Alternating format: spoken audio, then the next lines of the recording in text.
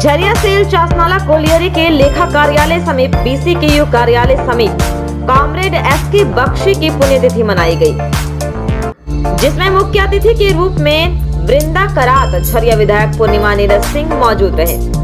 कार्यक्रम में सर्वप्रथम एस के बख्शी की मूर्ति पर माल्यार्पण व पुष्प अर्पित कर श्रद्धा सुमन अर्पित किया। वही कार्यक्रम से पूर्व बीसी के यू के केंद्रीय अध्यक्ष सुंदर लाल महतो के नेतृत्व में विशाल रैली निकाली गई, जो चासनाला मोड़ से शुरू होकर शहीद बेदी पहाड़ शहीदों को श्रद्धांजलि दी गई। वहीं सभा को संबोधित करते हुए वृंदा करात ने मोदी सरकार को जमकर लताड़ा और कहा कि केंद्र की मोदी सरकार श्रम कानून में जो बदलाव कर रही है, या मजदूर विरोधी है।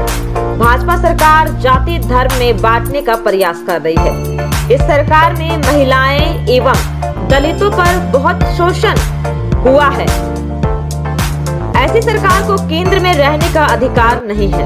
वहीं वक्ताओं ने कहा कि कॉमरेड एस के बख्शी सारे ट्रेड यूनियनों को एक घर, मजदूरों की लड़ाई, लड़ने एवं मजदूरों को हक दिलाने के लिए हमेशा तात्पर रहते हैं।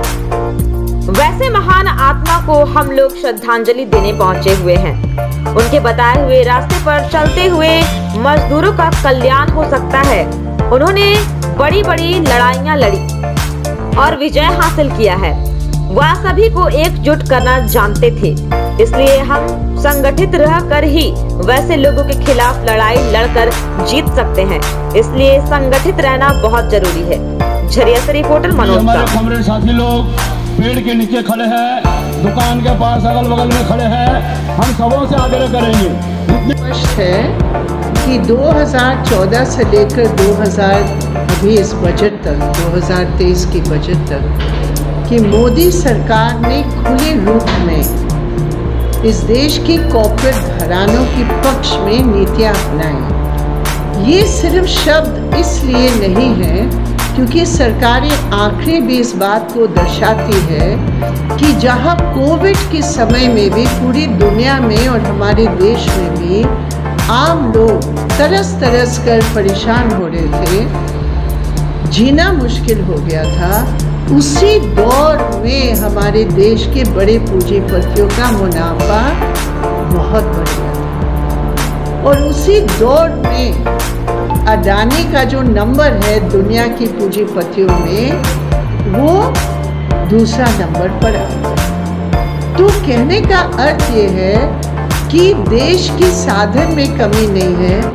देश की जनता की मेहनत में कमी नहीं है देश में कमी इस बात की है कि तमाम साधन और तमाम श्रम पूंजीपतियों की मुनाफा मैक्सिमाइज करने में ये इस्तेमाल किया जा रहा है। इसलिए हम कहते हैं ये मोदी सरकार वो मजदूर विरोधी सरकार अभी निजीकरण का पूरा दौर चल रहा है।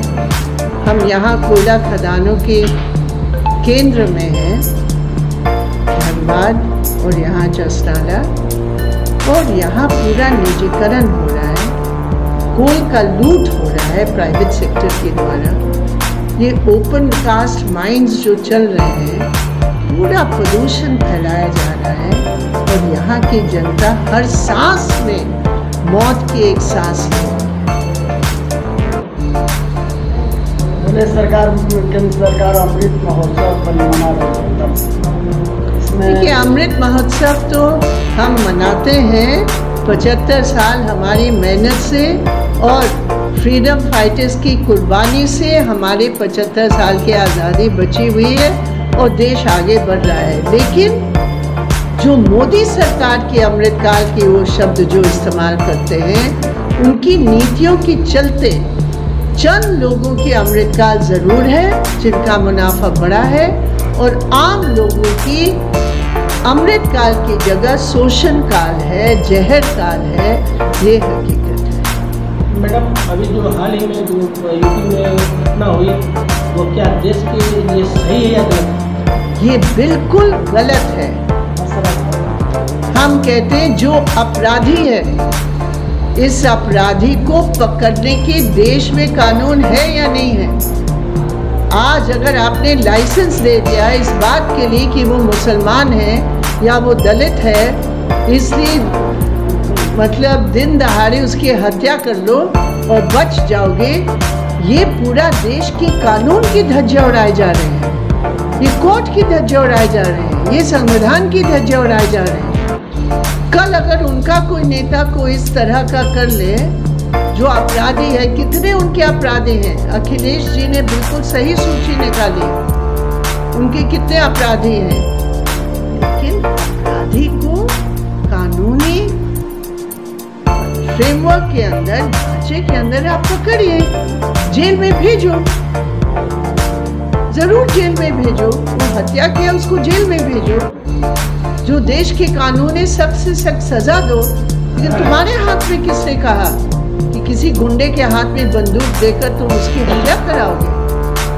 तुम ही जज तुम ही जूरी तुम ही वकील तुम ही सरकार, क्या रखा है इस देश के में हम सख्त निंदा करते हैं।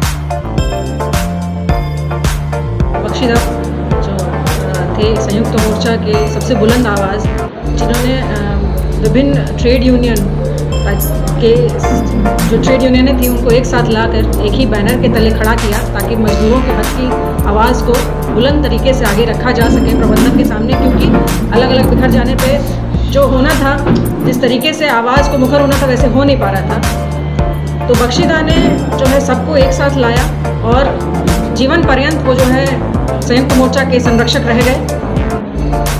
और आज उन्हीं की जो है पुण्यतिथि में, दूसरी पुण्यतिथि में यहाँ पर श्रद्धांजलि देने आए और सभा का आयोजन और सुंदरलाल महतो जी जो एक तरीके से कह लीजिए इस क्षेत्र के संरक्षक हैं, साथ में मुख्य अतिथि के रूप में यहाँ पर सीपीआईएम की सबसे ज़ोरदार आवाज़ पूरे देश में हमारी वृंदा कराज जी यहाँ हैं।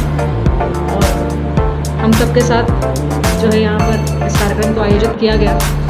क्योंकि आप जानते हैं कि कोयलांचल में जो है, विशेष करके यहाँ पे मजदूरों के हक की बात जो है अलग अलग समस्याएँ हैं। ऐसा नहीं है कि अगर वो सरकारी नौकरी कर रहे हैं तो मृत्यु हो गई तो भी नौकरी के लिए दौड़ना पड़ रहा है। मैं अभी आ रही थी रास्ते में तो एक महिला मिली। अब 18 महीने का उनका टाइम पीरियड है कि जहाँ उन्हें, उनके पति के मरने के बाद नौकरी मिल सकती है। सात महीने निकल चुके हैं, उन्हें पता नहीं कि क्या करना है। प्रबंधन सो रहा है।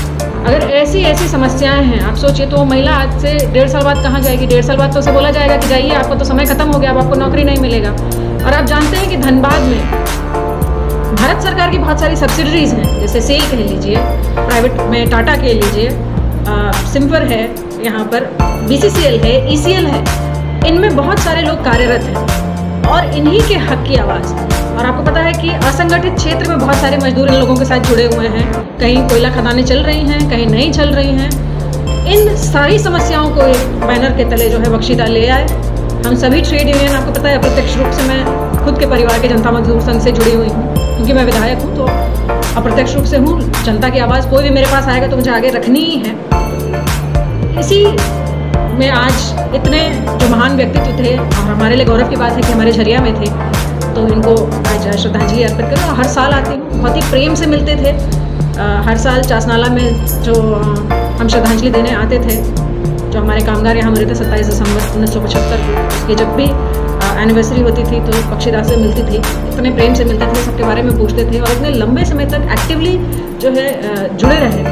तो आज उसी कार्यक्रम को लेकर हम सब यहाँ हैं मैडम मजदूर बहुत आपसे आस है कि पंच खजाना और पेट्रोल का चालू कब तक मजदूर पास देखिए, इसकी बात चल रही है। अलग अलग जगहों पे अभी जैसे आपको पता होगा कि चांदमारी में एक बहुत लंबी लड़ाई मैंने लगी, लड़ी और तीन साल लड़ने के बाद यहाँ से लेकर विधानसभा तक हर अफसर का दरवाज़ा करने के बाद आज जो हमारे बिहार सरकार, जब एक, एकीकृत बिहार था, उस समय जिनको बंदोबस्त की गई थी ज़मीन और अचानक बीसीसीएल ने उनसे छीन लिया उनको मजबूर किया गया कि बीसीसीएल वापस उन्हें बंदोबस्ती करे।